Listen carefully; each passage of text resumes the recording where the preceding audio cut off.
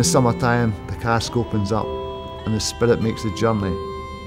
Every spring it starts to open and the spirit moves out, moving deep into the staves. And the cask says, Welcome, come in, come in.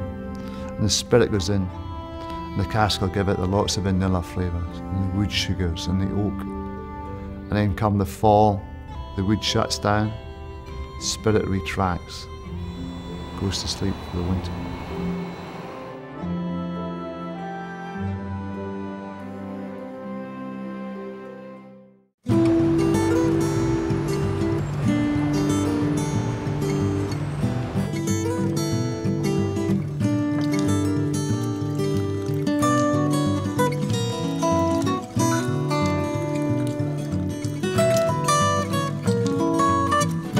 Now, do you see that little bead of whiskey that's hanging from your finger? Why is it not falling off your finger? Correct answer. This whiskey is not chill filtered. The natural oil. I wanted to go back to making whiskey distilling. And Bruichladdich was the Cinderella distillery of Islay. It was always used as a blender's whiskey. It never achieved any status whatsoever as a single malt. And it was in dire straits.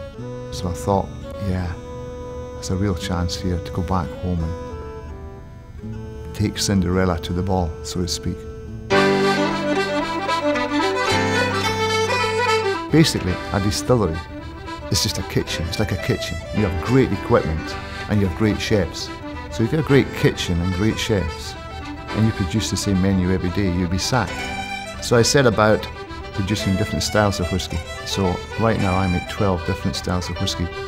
We go with one product, we are dead in the water because we are walking the land of giants. I mean, the companies are surrounding us are like huge companies, you know. Bruichladdich, I gotta say, we're kind of recognised as the rebels of the track, you know, because we do stuff that nobody else does. And I started experimenting. We started making really heavy peated malt, and now we make the most heavy peated malt in the world called Octomore. I distilled whiskey four times. That was the first time since 1695 it was done. We do use a lot of wine casks, but it's not just any wine cask. We use Chateau Latour, Chateau Lafite, Chateau Margaux, Chateau Petrus, and it's bringing a whole new flavour to the world of whiskey. You ever had a peated malt from a Zinfandel cask? Ah, it's wicked. You shouldn't do it. It's just so exciting, you know, the Zinfandel and the red fruit and the buzz, and it slams into the peat. You think this is going to be a disaster, but it's like Islay guy meets Californian girl. It shouldn't happen. We've got to move forward as a young consumer out there who wants exciting colours, exciting flavours, new tastes. And Islay barley is really, really special because Islay has been super saturated with salt for millennia. So the Islay barley has got this distinct taste. We mature our whisky right beside the Atlantic.